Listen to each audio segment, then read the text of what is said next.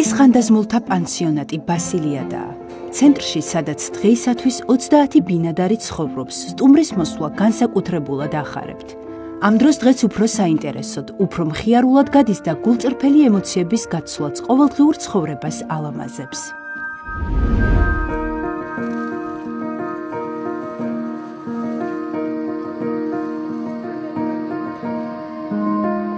საპატრიარქოს საზოგადოებასთან ურთიერთობის სამსახურის წარმომადგენელი დეკანოზი იოანე გორელის შვილი ცენტრს ხშირად სტუმრობს. დღეს ახალგაზრდებთან ერთად მოვიდა.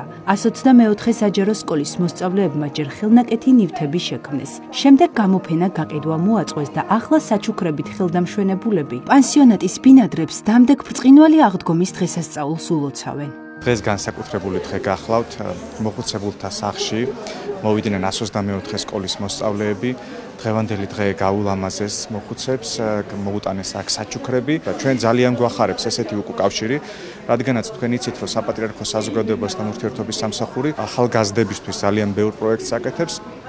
მათ შორის არის პროექტები, როდესაც ჩვენ სკოლებთან გვაქვს ურთიერთობა და შეგვაქვს ხოლმე სხვადასხვა სპექტაკლი, აი მაგალითად 124 სკოლაში იყო წმინდა გრიგოლ ფერაძის შესახებ სპექტაკლი, ამის შემდგომ მოხდა რამოდენიმეჯერ, ესე იგი, ღია შეხვედრა მათთან, თავისუფალ თემებზე იყო საუბარი, ჩვენ დაუმეგობრდით. 124 საჯარო სკოლაში ხშირად ხდება მსგავსი ღონისძიებები. ოღონდაც ეს მიმართულია ხოლმე სხვადასხვა მიმართულებით.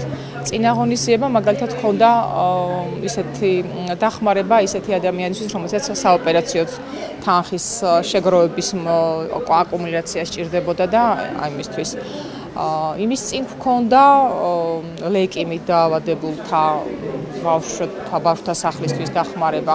აი ახლა ეს მოიფიქრეს ბავშვებმა სააღდგომოთ და ასე რომ მხოლოდ პანდემიამ შეგუშალა რაღაც ხელ თორე ხშირად ხდება ხოლმე მსგავსი და მიხარია რომ ახალგაზრდები არიან ასეთი მონდომებულები, ჩართულები, ენთუზიასტები და უბრალოდ ძალიან ნიჭიერი ადამიანები არიან.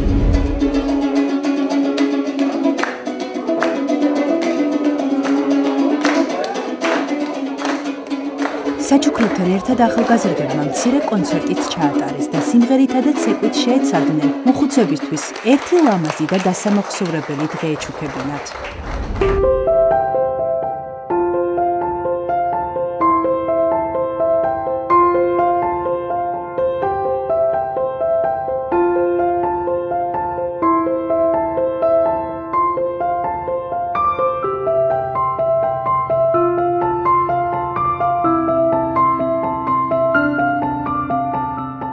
მინდა მადლობა გადაუხადო დღევანდელი დღის ორგანიზატორებს. რა თქმა უნდა, პირველ რიგში мама იოანეს, რომელიც ჩვენთან უკვე არაერთჯერ ყოფილა და აგზელებს ჩვენთან ინტენსიურ ურთიერთობას და ეს ურთიერთობა ყოველთვის არის თბილი, ტკბილი სიყვარულით სავსე.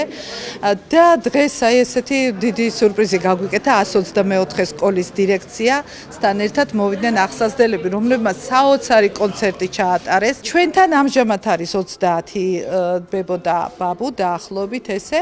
აქედან სამწუხაროდ არიან ისეთი, ვთქვათ, ხანდაზმულები, რომლებიც ვერ ჩამოვიდნენ ქვემოთ, მაგრამ რა თქმა უნდა ჩვენ ჩანაწერები გავაკეთეთ და ვეცდებით რომ ყოველას ვაზიაროთ ეს სიხარული. დღევანდელი შტაბაჭილებები ჩამოთვლა რომ დავიწყო უბრალოდ ვერ მორჩები, იმიტომ რომ ხშირად არ ხდება და მე მთელი ცხოვრების განძილზე მიყვება ხოლმე ეს ადამიანს სულში გულში ილექება ეს. სიმღერა ჩემი ცხოვრება არის და უბრალოდ არ შემელა რომ ჩემი ცხოვრება ნაწილი აქეთ არ წამომეღოთ. აი იმდენად ბედნიერი ვარ უბრალოდ აი ეს ადამიანები ცოტათი მაინც გავახარით და სიხარული მივანიჭეთ რომ ავიცი ალბათ აი საკუთარი თავით უკვე ავამაყობ რომ ვიღაცას რაღაც სიხარული მივანიჭერა. ვერნად გაზაფხული სლავაც დახატრებო ცისრასულის თქვა